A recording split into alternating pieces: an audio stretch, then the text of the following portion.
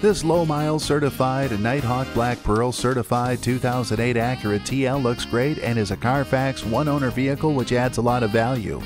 It comes equipped with a CD changer, Bluetooth wireless, and climate control.